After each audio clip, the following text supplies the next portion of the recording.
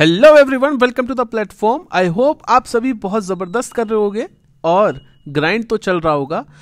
हालाँकि I am really sorry मुझे time नहीं मिल पा रहा है बेसिकली कंटेंट रिकॉर्ड करके, उसके बाद एडिट करके यूट्यूब पे डालने का। आज ये वीडियो मैं सिर्फ़ इसलिए बना रहा हूँ क्योंकि हमारा एक भाई है अपना, आलोक, और जो कि है India number one T player और उसने प्रूव कर दिया है कि वो वर्ल्ड का भी नंबर वन टी प्लेयर है और वो कैसे किया है?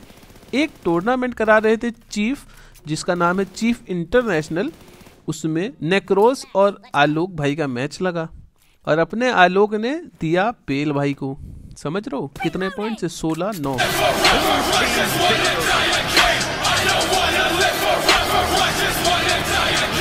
moving on to the second round of the tournament. What about that? Is out. Is out of the tournament.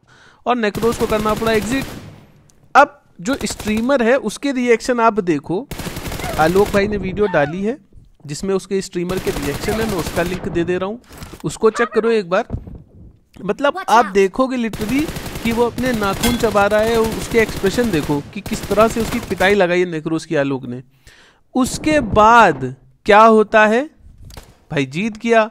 Officially Alok जीत गया भाई। ये डिस्कालीफाई हो गया नेक्रोस लेकिन यहाँ पे अब नेक्रोस भाई, इतने समय से इंटरनेशनल प्लेयर है बेस्ट प्लेयर है फ्रांस का वर्ल्ड का नंबर वन बना बैठा है। उसका इन्फ्लुएंस ज़्यादा है। तो चीफ भाई, बात तो सुननी पड़ेगी। नेक्रोस ने जो भी बोला, और एक कोई भाई बहुत बड़ा एक्सपर्ट है Hondo H O N D O ठीक है? तो ये एक्सपर्ट जो है, ये रिपोर्ट चेक करते हैं बंदे की, और ये अपना एक सर्टिफाई करते हैं कि बंदा हैकर है या नहीं है। भगवान जाने इनको एक्सपर्ट किसने बनाया होंडो होंडो को? अब उसके बाद ये जो एक्सपर्ट थे, इन्होंने आलोक की क्लिप को चेक किया।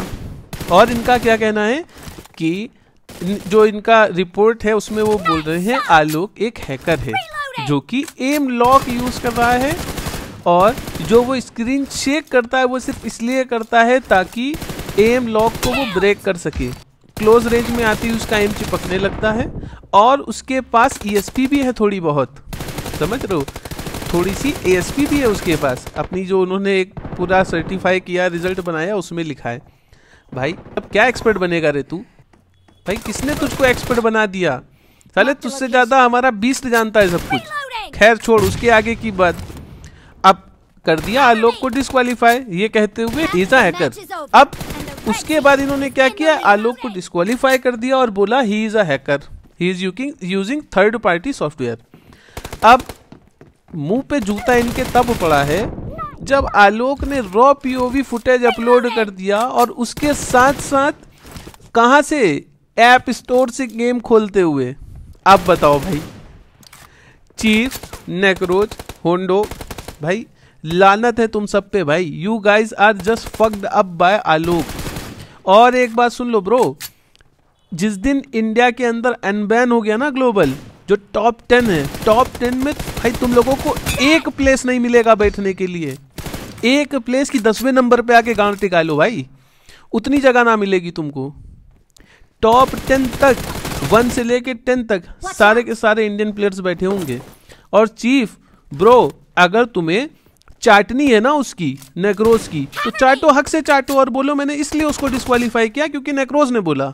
और इस लाइन का इंग्लिश अनुवाद ये है chief if you want to lick Necros ass then do it bro but say it openly that I am licking his ass because of his higher subscriber and disqualifying Alok. समझ रो आराम से चाटो उसकी bro लेकिन किसी एक बंदे को ऐसे झूठे एलिगेशन मत लगाओ। और आगे पब्लिकली इस पे सॉरी बोलो। तुम्हें नहीं खिलाना मत खिलाओ डिस्कालीफाई करना कर दो मगर सॉरी बोलो। क्योंकि मैं नेक्रोस की चाटना चाहता हूँ इसलिए आलोक को मैं डिस्कालीफाई कर रहा हूँ। ऐसा इंस्टा पे स्टोरी डालो ब्रो टेलीग्राम पे डालो ये बात। और इस लाइन का इंग्लिश अनुवाद ये है chief if you want to lick Necros ass then do it bro but say it openly that I am looking his ass because of his higher subscriber and disqualifying Alok and one more thing you guys are seeing that you ban him for another tournament bro location Who the hell you are? We are Indians. We are 135 crores population. We are the community. We are the market. We are the 70 to 80 percent subscriber of your channel. Or tum, you want to ban a person who is not hacking, who is proving he is not hacking, and you are banning him because he can fuck you up. You'll request. You'll literally request everybody on Instagram that please let me play some tdm tournament in india okay? So do not fuck up with us bro. और हाँ बोल रहे कि sensi भी उसकी बहुत तेज है।